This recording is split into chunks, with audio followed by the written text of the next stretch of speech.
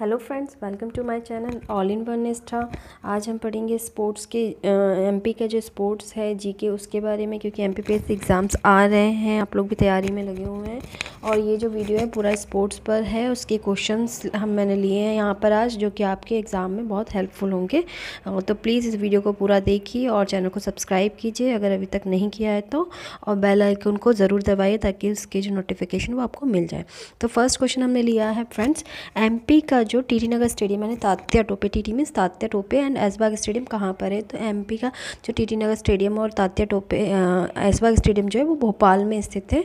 तो जो T Nagar stadium है इसको जो इसके अंदर जो है खेल संग्रहालय भी बनाया गया है और टी नगर स्टेडियम जो एक मल्टीपर्पज़ स्टेडियम है भोपाल का और इसकी जो ओप, इसकी जो ओपन हुआ था ये 1982 में हुआ था एंड 2013 में जो है इसे रिनोवेट भी कराया गया है।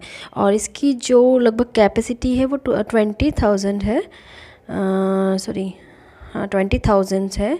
और जो ऑपरेटर है इसका वो directorate sports and youth welfare है इसका ऑपरेटर तो फ्रेंड्स ये थी इसकी जानकारी। ऐसबाग स्टेडियम के बारे में भी हम पढ़ेंगे नेक्स्ट और मध्य प्रदेश का जो राज्य खेल, ये मैंने लास्ट वीडियोस में बताया है। मध्य प्रदेश का राज्य खेल जो है, वो मलखम है। मलखम जो है 9 अप्रैल 2013 को राज्य इसको राजकीय खेल का दर्जा प्राप्त और होलकर एवं अभय प्रसाद स्टेडियम जो है, मध्य प्रदेश में, वो इंदौर में होलकर जो देवी अहिल्या भाई होलकर, हमें पता है तो इसका लिंक हम बना सकते हैं। नेक्स्ट क्वेश्चन है, मध्य प्रदेश में नेहरू स्टेडियम कहाँ पर है? तो फ्रेंड्स नेहरू स्टेडियम जो है मध्य प्रदेश में, वो इंदौर में है और इसकी लगभग 1964 में इसका हुआ था और कैपेसिटी इसकी पच्चीस हज़ार है। और मध्य प्रदेश का विक्रम अवार्ड एवं विश्वामित्र पुरस्कार जो है खेलों से संबंध रखता है और सबसे बड़ा खेल पुरस्कार जो है वो विक्रम अवार्ड ही है। तो एमपी का सबसे बड़ा खेल पुरस्कार विक्रम अवार्ड और विक्रम अवार्ड का संबंध खेलों से है। विश्वामित्र पुरस्कार दोनों का संबंध खेलों से है। तो विश्वामित्र पुरस्कार जो है नेक्स्ट क्वेश्चन में हम ले रहे हैं कि मध्य प्रदेश शासन द्वारा किसको प्रदान किया जाता है? तो ये जो है विश्वामित्र एक गुरु थे तो ये खेल प्रशिक्षकों को दिया जाता है। और मध्य प्रदेश के किस शहर को? खेल की राजधानी तो ये इंदौर को इसका गौरव प्राप्त है। खेल की राजधानी इंदौर को कहा जाता है मध्य प्रदेश की। तो मध्य प्रदेश के ग्वालियर में स्थित रूप सिंह स्टेडियम, जो एक प्रसिद्ध खिलाड़ी कैप्टन रूप सिंह के नाम पर रखा, जिनका संबंध जो था, वो हॉकी से था फ्रेंड्स इनका संबंध हॉकी से था। तो रूप सिंह स्टेडियम कैप्टन रूप सिंह के नाम पर रखा गया, रूप सिंह हिरवानी। और जो कि हॉकी से रिलेटेड थे नेक्स्ट क्वेश्चन है कि मध्य प्रदेश रूप सिंह स्टेडियम पहली बार इंटरनेशनल क्रिकेट जो है, दो देशों के बीच में खेला गया। वो दो देश थे इंडिया और वेस्ट इंडीज़ और वो कब खेला गया? बाईस जनवरी नाइनटीन को। और जो रूप सिंह हिरवानी थे नेक्स्ट क्वेश्चन में, उन्होंने अपनी एक दिवसीय क्रिकेट की शुरुआत करियर की शुरुआत किस स्टेडियम तो उन्होंने रूप सिंह स्टेडियम से ही की थी। तो नेक्स्ट क्वेश्चन हम लेते हैं सचिन तेंदुलकर के लेके कि उन्होंने जो मध्य प्रदेश के जो किसी स्टेडियम में जो है एक दिवसीय क्रिकेट में अपना दोहरा शतक बनाया। तो किस स्टेडियम में बनाया फ्रेंड्स? तो इसका आंसर भी है, रूप सिंह स्टेडियम। काफ़ी सारे क्वेश्चन रूप सिंह स्टेडियम से रिलेटेड हैं। तो ध्यान से देखिए वीडियो को, ध्यान से पढ़िए इस क्वेश्चन को। और नेक्स्ट क्वेश्चन है 1996 में विश्व क्रिकेट कप भारत और वेस्ट इंडीज़ के बीच में मध्य प्रदेश के किस मैदान? अभी हमने पढ़ा। तो ये है रूप सिंह स्टेडियम में खेला गया। और मध्य प्रदेश में दूधिया रोशनी से युक्त कौन सा स्टेडियम है? तो दूधिया रोशनी से युक्त रूप सिंह स्टेडियम ही इसका आंसर है।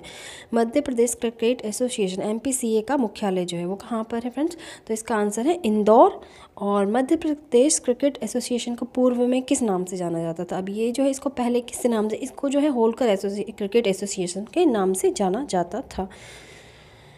ठीक है। नेक्स्ट क्वेश्चन ले रहे हैं हम। मध्य प्रदेश क्रिकेट एसोसिएशन को पूर्व में किस नाम से तो अभी हमने पढ़ा, होलकर क्रिकेट एसोसिएशन के और खे, मध्य प्रदेश खेल संचालन की स्थापना 1975 में कहाँ की गई तो इसकी स्थापना की गई फ्रेंड्स भोपाल में। तो भोपाल में जो है, मध्य प्रदेश खेल संचालन की, संचालनालय की स्थापना जो है नाइनटीन में भोपाल में की गई। नेक्स्ट क्वेश्चन ले रहे हैं मध्य प्रदेश में खेल कूद एवं युवक कल्याण, स्पोर्ट्स, यूथ, वेलफेयर डिपार्टमेंट जो वो कहाँ पर है तो वो है भोपाल स्थापना इसकी एक अक्टूबर 1975 में हुई थी। और नेक्स्ट है मध्य प्रदेश में पंडित रविशंकर शुक्ल स्टेडियम कहाँ पर है? तो ये इसका आंसर है जबलपुर। तो रविशंकर शुक्ल स्टेडियम जो है वो जबलपुर में है। मध्य प्रदेश में विश्वामित्र खेल पुरस्कार की स्थापना कब की गई? 1994 में जो विश्वामित्र खेल की पुरस्कार पुरस्कार की स्थापना की गई। और जो एकमात्र आदिवासी खेलकूद विद्यालय मध्य प्रदेश में वो है सीहोर में। तो सीहोर में एकमात्र आदिवासी खेलकूद विद्यालय है। होलकर क्रिकेट स्टेडियम को पहले किस नाम से जाना जाता था? तो होलकर स्टेडियम को पहले जो है उस Maharani Usha Raje trust cricket ground के नाम से जाना था। इसका नाम जो है 2010 में चेंज किया गया है।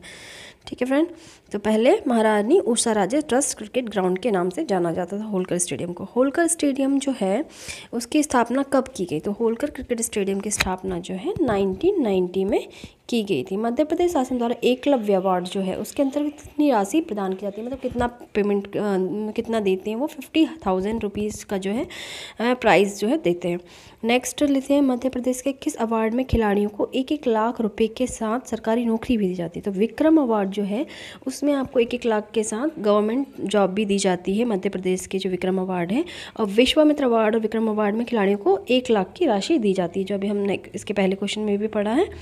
नेक्स्ट देखते हैं, मध्य प्रदेश का पहला क्रिकेट खेल क्लब इंदौर में एटीन नाइनटी में स्थापित किया गया, जिसका नाम क्या?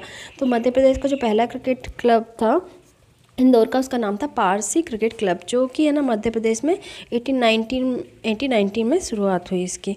मध्य प्रदेश के किस खेल स्टेडियम में खेल संग्रहालय बनाया गया? टीटी नगर स्टेडियम में जो है, खेल संग्रहालय जो है, वो बनाया गया। ओके।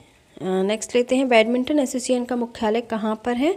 तो वो जो है बैडमिंटन एसोसिएशन का मुख्यालय जबलपुर में है।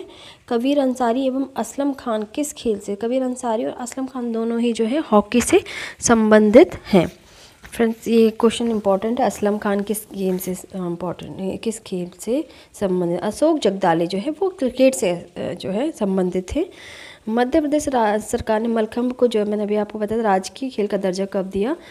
9 अप्रैल 2013 को जो है, वो राजकीय खेल का दर्जा दिया। इससे पहले भी हमने पढ़ा इसको।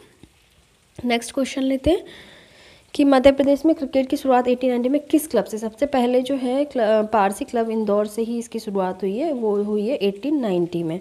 मध्य प्रदेश हॉकी एसोसिएशन का कार्यालय जो है, वो जबलपुर में है। Madhya Pradesh hockey association. इसका कार्यालय जबलपुर में है फ्रेंड्स नेक्स्ट लेते हैं क्वेश्चन हम, कि जो बैडमिंटन है एसोसिएशन की स्थापना 1946 में ग्वालियर में हुई थी तो इसका जो वर्तमान मुख्यालय कहाँ पर है? तो इसका मुख्यालय है जबलपुर में. Next Madhya Pradesh table tennis association स्थापना जबलपुर, नाइनटीन जबलपुर में हुई, इसका वर्तमान में मुख्यालय, इसका जो मुख्यालय वो इंदौर में है फ्रेंड्स इसका मुख्यालय इंदौर में। नेक्स्ट विश्वामित्र पुरस्कार जो है 2017 का किस कुछ क्वेश्चन है। जैसे 2017 का विश्वामित्र पुरस्कार जो तरुणा चावरी को मलखम उज्जैन की हैं। दविंदर सिंह खनूजा पावर लिफ्टिंग इंदौर के, और विश्वामित्र पुरस्कार हमें पता ही, खेल प्रशिक्षकों को दिया जाता है। नेक्स्ट क्वेश्चन लेते हैं कि श्री प्रभास जोशी जो हैं, खेल पुरस्कार 2017 किसको दिया गया? ये दिया गया चंद्रशेखर चौहान को, जो कि उज्जैन के हैं। इन्हें मलखम, ये एक मलखम खिलाड़ी हैं। नेक्स्ट लाइफ टाइम अचीवमेंट पुरस्कार जो है 2017 का, वो किसे मिला? सॉरी 2017 का खो खो क्रिकेट और कबड्डी में उल्लेखनीय योगदान के लिए किसे दिया गया? लाइफ टाइम अचीवमेंट अवार्ड ये बहुत इंपॉर्टेंट क्वेश्चन है ये मिला है। स्व प्रभाकर कुलकर्णी मरणोपराध इनको मतलब मरने के बाद इन, इंदौर के ही। इन्हें ये जो है लाइफ टाइम अचीवमेंट पुरस्कार 2017 मिला है। तो फ्रेंड्स अगर आपको ये वीडियो पसंद आई है, आप तो प्लीज़ इसको लाइक कीजिए शेयर कीजिए एंड सब्सक्राइब कीजिए। थैंक यू वेरी मच और नेक्स्ट वीडियो के लिए बेल आइकन को ज़रूर दबाइए। Thank you friends thank you very much